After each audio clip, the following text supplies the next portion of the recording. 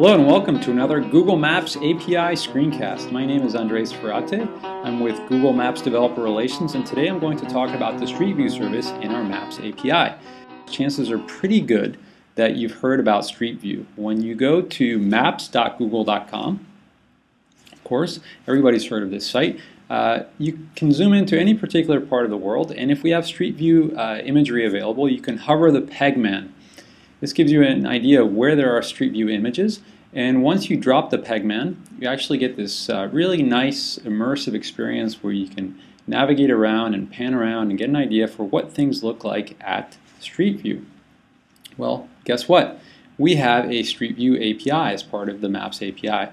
So with the Street View service, as we call it, uh, you can take the Street View imagery that we have and you can integrate it into your web app.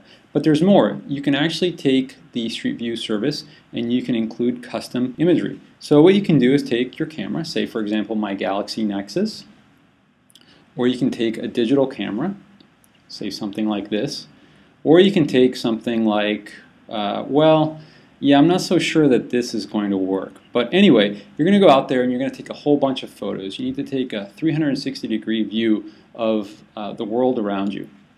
Once you've got your photos, you're going to uh, do what's called image stitching. I suggest you go to Wikipedia and search for image stitching. You'll get a list of a whole bunch of software that's out there. Of course, you can also go to Android Market or some other place to get some apps for your mobile device. Or you can go out there and search on the web on your preferred search engine and find existing images.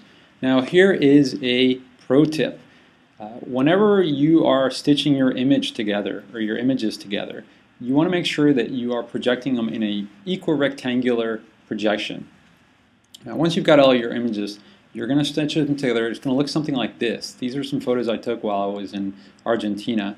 And here is the end result. You get a nice custom street view panorama.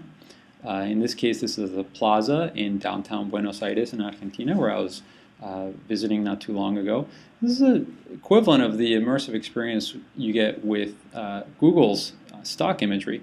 But there's more. You can actually go out there and find some other stuff. Say, oh, I don't know if NASA has some equirectangular images available for Mars. You can actually take these and integrate them into uh, the Street View service. So you get a custom panorama of say the Mars rover on the surface of Mars. And of course you can pan around and you can zoom in and zoom out the same way that you do with Street View. You can also modify it so that you get, uh, oh, I don't know, proof that you had a friend visit Mars as well. That's it. Here is the uh, Google short link. Check it out. Let us know what you think.